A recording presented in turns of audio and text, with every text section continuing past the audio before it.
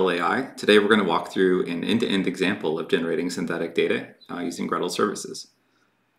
First, we'll go ahead and sign in. Uh, you can go to console.gretel.cloud and you can sign in with a developer ID or GitHub address there. From here, once we're signed in, we'll go ahead and select New Project. Select Blank Project. You can name your project if you want to. Once you've created a new project, we'll go to Transform. From here, we have a set of Python notebooks that help you address like popular use cases that we see around using Gretel. Um, for our example, today we're going to launch a notebook called Create Synthetic Data from a CSV or data frame. This opens us up into the, uh, Google Colab environment, which is a hosted uh, notebook environment uh, from, from Google. Uh, it's notable because it gives you free GPU access, which is really nice for training machine learning models. You also have the option, if you wish, of going ahead and downloading uh, the notebook or just downloading the raw Python to run inside your own environment. Uh, once again, heavily recommend that you run along with the GPU. We'll go ahead and click Run All, and we'll go ahead and walk through what's happening here as we uh, train a model and generate synthetic data. What's happening first um, is uh, the notebook environment here is installing our open source packages. You can see the Gretel client, the Gretel synthetic data library, um, and pandas are all being installed. Next, it's going to ask us for an API key to authenticate for some of our premium services. So we go back to the Gretel console, choose integration, show API key, grab the API key, and we'll go back to the console here. So put an API key, it will go ahead and download those premium packages into our environment. Um, we'll be accessing the SDKs for the rest of this exercise. Um, the next step here is creating our CSV dataset. So the ideal parameters to pass to our synthetic data library to create an artificial dataset are um, CSV, JSON, um, or Pandas data frame. Here we're going to go ahead and load a data frame uh, using a popular healthcare analytics dataset from Kaggle. You can see here we're going to pull back 10,000 records read that using pandas into a CSV, or sorry, into a pandas data frame um, that will pass to our synthetic data training library. Here, um, you can see it downloaded the CSV, um, loaded it into a data frame, and we can take a look at it here. So we have 10,000 rows, 18 columns, really varied kind of data. So this is a good example to use when uh, training our synthetic model. You have some integer data, some categorical data, floating points, dates, age ranges, things like that all of these get learned. And really our goal going through this exercise is to create another data set that has a very similar distribution um, to this original data set, um, but has none of the um, um duplicated records. So you get really kind of nice privacy benefits using this. Um, going through here, we see a configuration template. Tons of options here. This is really minimized, so this is the bare minimum that you need to, uh, to generate a synthetic model. If you want to go ahead and, and, uh, and, and customize this yourself for your particular use case, you can simply go to our documentation. If you go to our open source library for synthetics, there's a, a link that you can grab right there. Let's go ahead and take a look at documentation for configuration. We are using a TensorFlow backend here uh, because it's the default model and it supports differential privacy uh, based training. So we'll go ahead and look at the TensorFlow config.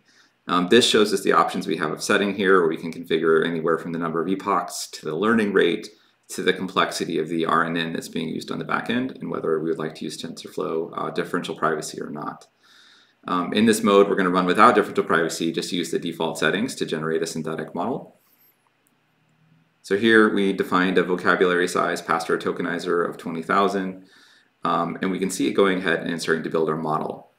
We define our model here. We pass in a few um, parameters here. We're going to tell it to build a validator. What is a validator? Um, a validator is code that runs. It's part of our premium package that um, takes a look at different um, columns, um, across columns inside of your data, um, and looks at the ranges that are expected of columns, whether it's categorical or floating, and making sure that the neural network outputs ranges that are sane based on what we saw the training data. So really it gives you confidence that the data you're, you're creating um, matches the shape and the distribution of your original data. We have early stopping configured here to prevent overfitting from happening, but you see it here training a model. See the loss dropping pretty significantly. Um, in my experience, anywhere less than, you know, typically 0.7, 0.8, you start to get pretty good quality synthetic data. So you can see it very quickly converged on a good solution here. Uh, we don't want this to overfit. We also want it to run really quickly. So what I'm going to do here is go ahead and stop this training after 20 epochs, and we'll go right over to, uh, to generating data. So let it finish up our 20 epochs. Which ought to be a good enough solution to get reasonable quality data. Let's Colab to stop there.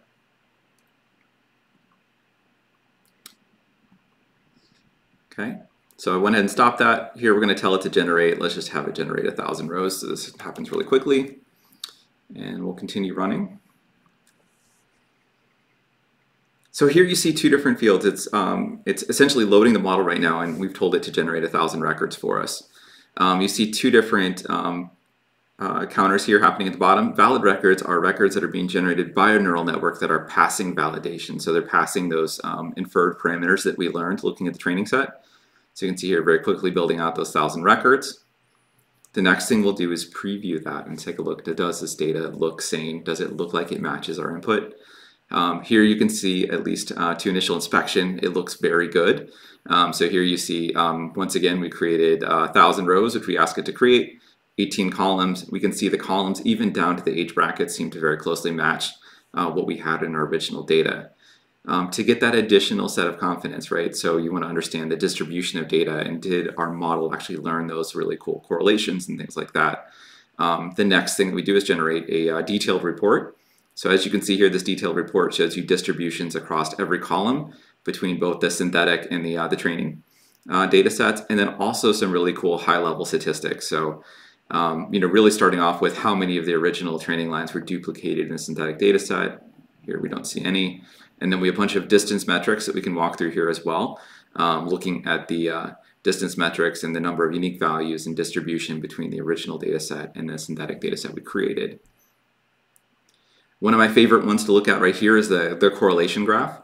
So this is uh, a column by column comparison of the correlations that existed in the original data set and how well they were replicated in the synthetic data set. So, you know, here uh, this looks a little bit like a Minecraft sword. And, you know, essentially what we're trying to do is make sure that the correlations we see existing in this um, first data set, for example, the number of stay, um, it appears to be highly correlated with the number of visitors um, that you have, which is interesting. Um, you want to make sure that gets replicated in the uh, synthetic data set.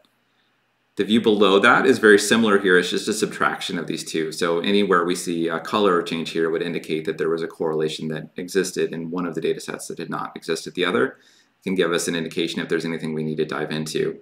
Once again, we don't really see anything here yet. Um, once again, um, we can go through and look at the individual uh, distributions um, and, and see how well they match up.